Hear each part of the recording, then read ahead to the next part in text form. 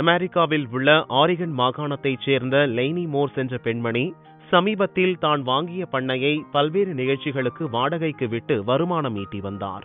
பின்னர் யோகா மாஸ்டர் ஒருவருடன் இணைந்து யோகா வகுப்பையும் நடத்த ஆரம்பித்தார். அப்போது பண்ணையில் இருந்த ஆடுகள் உள்ளே நுழைந்து விட அதுவே தொடர்ந்து ஆடி யோகா என்று பிரபலமடைந்திருக்கிறது. இது குறித்து யோகா பயிற்சியில் ஈடுபடுபவர்கள் கூறுகையில் சீரியஸாக யோகா செய்யும் போது ஆடுகள் விரிப்பில் வந்து உட்கார்ந்து கொள்கின்றன உற்சாகமாக எங்களுடன் விளையாடுகிறது.